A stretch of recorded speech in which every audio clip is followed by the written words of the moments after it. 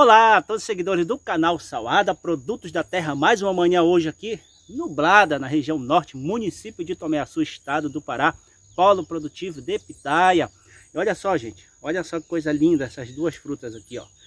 Aqui do lado, lado meu, do meu lado esquerdo eu tenho a Costa Rica e aqui do meu lado direito eu tenho a, a pitaia que a gente batizou aqui de gigante. É uma, uma fruta muito grande e essa daqui ainda ainda está pequena, mas chega aí a um quilo mais ou menos. Uma, é uma fruta oval, né? Diferente, ó, por exemplo, da, da Costa Rica.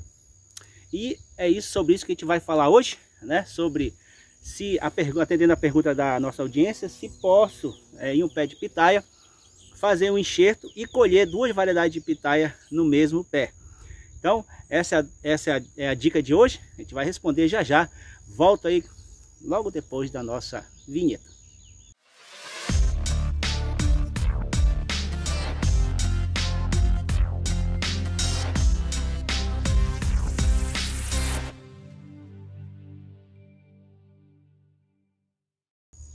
Então, gente, a pergunta hoje é, né, se eu posso é, ter uma ou duas, ou até mais variedade de pitaia, é, produzindo pitaia no mesmo pé. A resposta é sim, você pode é, ter duas, três variedades no mesmo pé de pitaia. Então, por exemplo, aqui, essa aqui é a variedade Costa Rica. Então você pode pegar um, um pedaço desse aqui em cima, geralmente a gente faz um enxerto em cima, tá? A gente faz um enxerto em cima eu posso colocar, fazer um enxerto de gema aqui, ou um enxerto de pedaço por encostia, um enxerto, por exemplo, da, da gigante. Então eu posso enxertar uma gigante, eu posso enxertar aqui uma teruia, eu posso enxertar uma vietnamese white, é, qualquer variedade, mas o ideal é você sempre enxertar uma variedade que seja também, assim como a Costa Rica, uma variedade alto fértil, tá certo? Não, é, é ruim você enxertar uma variedade que seja estéreo, porque mesmo que ao lado tenha uma variedade, é, a Costa Rica é alto fértil, mas nem sempre pode ser que flore no mesmo dia. Então você acaba perdendo. Então para você não perder seu tempo, já enxerta uma variedade que seja alto fértil. Então se for uma branca, pode ser a Vietnamese White.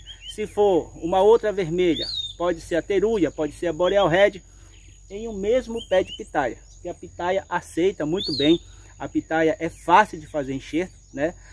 Como toda cactácea, é muito fácil você fazer enxerto. Tira um pedaço aqui e faz o enxerto, tá certo? Você pode ter sim, ó, é, duas, três variedades é, de pitaia no mesmo pé. Gente, é, espero ter respondido uma coisa muito simples, né? Se, se dá para fazer ou não, dá para fazer sim. E lembrando, nós estamos chegando, já chegamos aí a 60 e estamos chegando a 61 mil já passamos de 61 mil inscritos. Muito obrigado a você. O canal está crescendo rapidamente graças a vocês que se inscrevem. Então, para você que não é inscrito no nosso canal, se inscreva no nosso canal. Isso ajuda bastante, né? E para você sempre que está por aqui visitando, deixa aquele like, aquele joinha.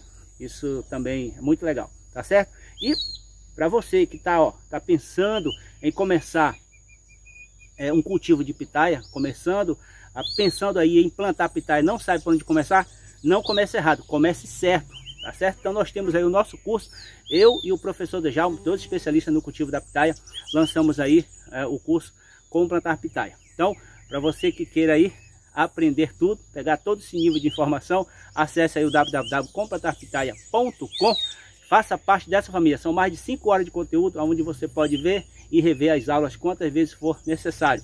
E tem também ah, você pode tirar dúvida comigo, com o professor Dejalmo. Aquilo que porventura não tiver no curso, você pode é, entrar em contato conosco para tirar as suas dúvidas, tá certo, gente? Então, o vídeo de hoje é isso, né? Se dá para fazer enxerto ou não, dá sim, ó. Tá aqui é, duas variedades, três variedades, você pode colocar, de preferência alto tá certo?